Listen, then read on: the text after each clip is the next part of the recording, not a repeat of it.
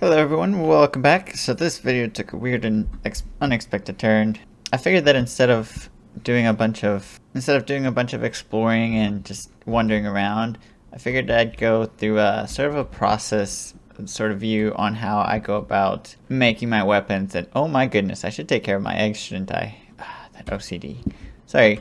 Right, so let's get back on track. So the way I go about making my weapons if you are sort of new to RLCraft and you're just overwhelmed by all the weapons in the world, and I don't know, you've made it past the point of getting diamond, and you're just wondering what's better than diamond, right? Because eventually you'll just have you'll just have a bunch of diamond from like if you're like me and you like dungeon hunting, you know, diamond's gonna be sort of abundant, right? And so you're wondering, well, gold sucks, iron's mediocre, but it's a good place to start. Emerald you can't really do much with. Lapis is just there for enchantments. And there is bronze and some other stuff, but they're not really good for anything. So once you get a hold of a few dragon bones or a few dragon weapons, then, you know, that's whenever things start to open up for you, right? Hmm, dragon weapons are, from what I've seen, the most powerful weapons in the game there are some enchanted stuff you can create and craft and you know kind of get wild with like this Venom Venom, Venom uh, axe blade and it just has a bunch of weird um, effects and stuff that is very powerful but you know when we're talking about raw power uh, dragon in general is the best way to go. So the way I approach this right I personally just have a bunch of crafted weapons and I, I have, um, I believe I have one of each now. And I, this is just for me, for my personal gain. Um, I like seeing all these weapons just kind of accumulated. And eventually, as you progress through the game, you'll have a bunch of these resources, right? And so the way I go about it, right, is I craft several of the same items. So for example, long sword there, long sword there, right? And so I'll craft one or two, maybe three of these. And so what I'll do is um, you have a random chance to get either a good enchantment on them or a negative one. So for example, this one has negative 5 speed and negative 5 attack speed. Sorry, I said that wrong. Negative 5 dig speed and negative 5 attack speed, right? And so that brings the quality down to clumsy, right? So all of these down here that I don't use are just have negative effects. So the reason I don't discard these is because later if I ever want to repair any of my dragon weapons, which all have negative effects. I don't know why I keep them. I could just use these to repair them because it's not going to take away from the already enchanted stuff, right? So whenever I craft these weapons, I always make multiple. So now if you don't have the resources to craft multiple weapons, I wouldn't sweat it. You just take what you can get. Hopefully you're lucky the first time, but I wouldn't sweat this part too much just because it does take a lot of resources. It's more end game. Honestly, whenever you're first starting off, you know, just getting that first dragon weapon is the coolest thing. So for determining which weapon best suits you, it's obviously going to depend on your game style play. So I'm very much a shield and weapon kind of person. And the best weapon to combo with that would be a dragon halberd. Um, because you can actually use the weapon while you're protected or shielding. So it makes it very strong and you're pretty much almost indestructible assuming enemies aren't doing negative effects on you like poison, uh, disorientation, stuff like that, or you're on fire, whatever, etc. So yeah, so halberds work great for shields and long weapons like long swords and just regular swords are great for AoE damage when it comes to melee because halberds will only attack one enemy at a time whereas uh, longer weapons like this will attack multiple enemies with one swing.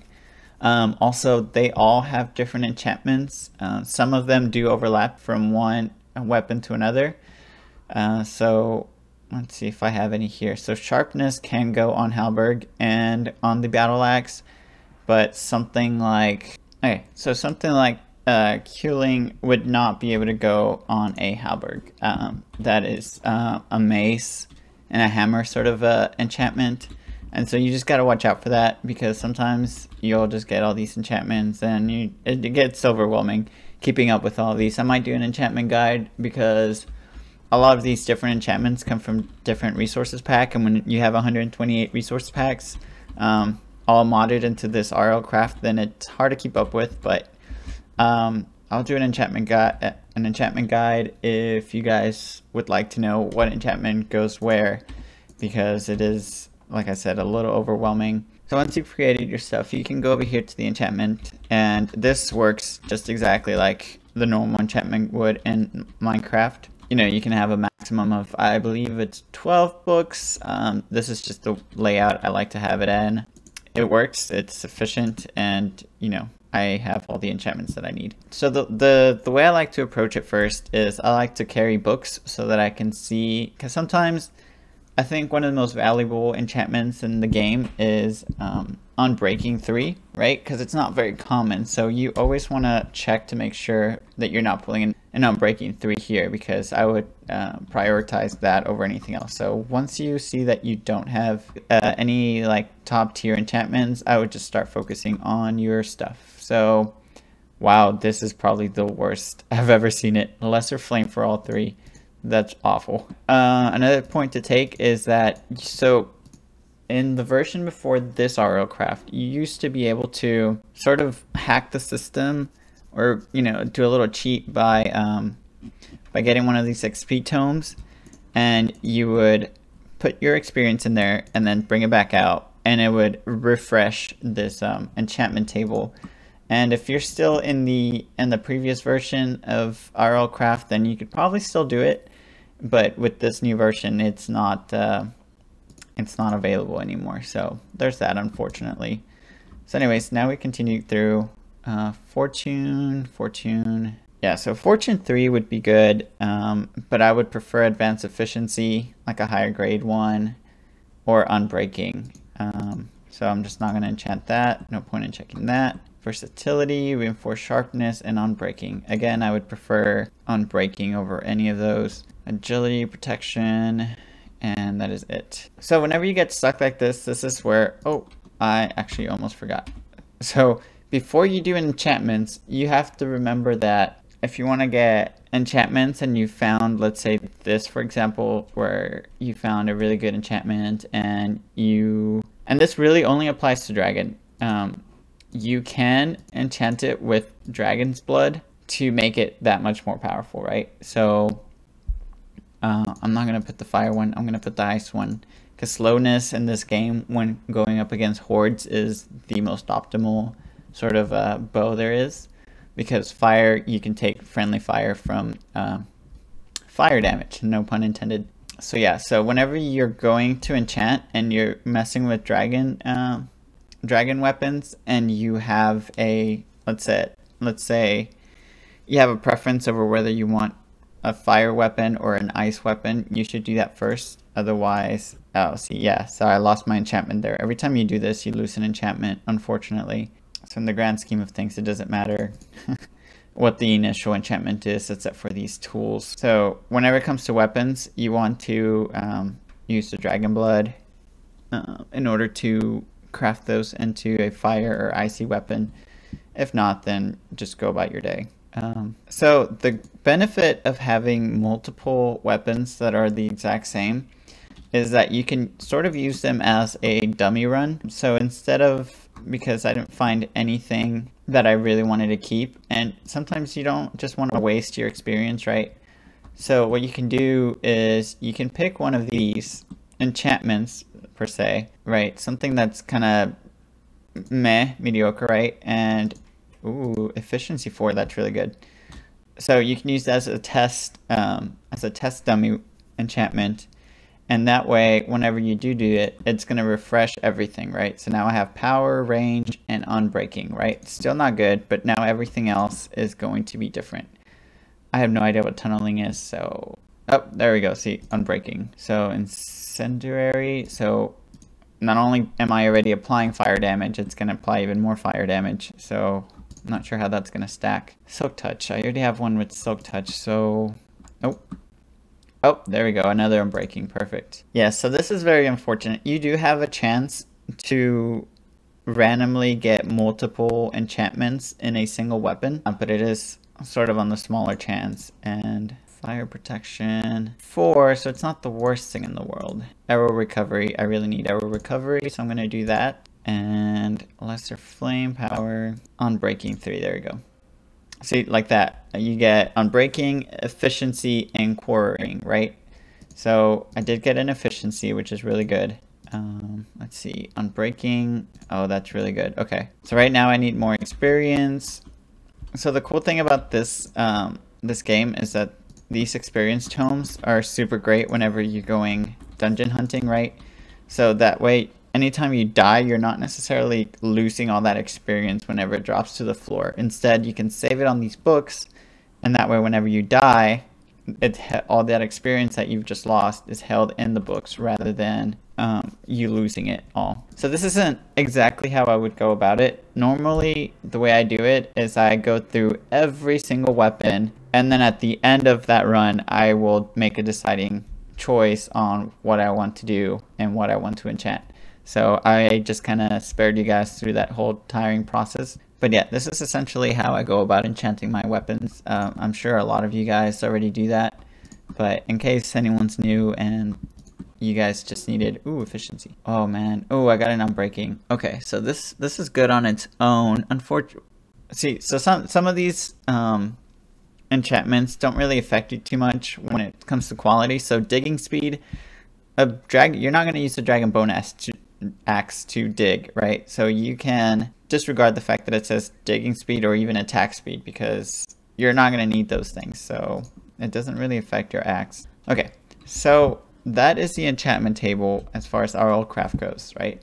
There's also the unenchanting table, right? So the reason you want to have multiple, um, if you have the the resources, if you want, and it doesn't even have to be the same the same uh, tier or weapon uh, per se as the the main weapon that you want to have as long as it's within the same category weapon category. Because you can disenchant the weapon so that it goes into you know a book. So I might do that. And that's the reason you want to create multiple of them because if one one of the enchantments applies to say one of the test dummies but it doesn't apply to your main weapon you can disenchant that other test weapon and put it onto your main weapon. Let's just go to an any anvil and it's gonna cost me one what?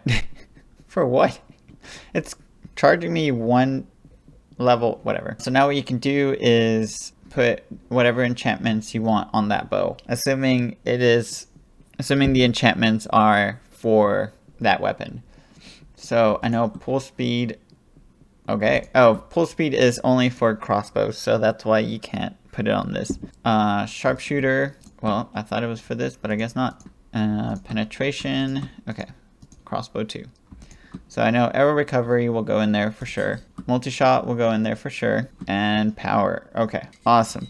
So it's not god tier like my old bow, right? But I have now a better bow than almost this one. I would prefer rapid fire because that's the one that allows you to draw the arrow back faster, but I didn't get an enchantment for rapid fire, so that is that. So that that's how you go about sort of creating a god tier enchantment or weapon. So nothing else is really matters here. Um, I was just kind of crafting extra stuff because last time I got killed in that uh, in that blood moon, I needed I needed my, a new bow and I wanted to replace this one because while this one's not bad, it only shoots one arrow at a time and it's kind of hard taking that this weapon into dungeons because, well, it only attacks one enemy at a time and it's not the, the best. Um, as far as weapons go, this one's not bad. It has lifesteal, which is great uh, against hordes and stuff because it does do AoE damage whenever it,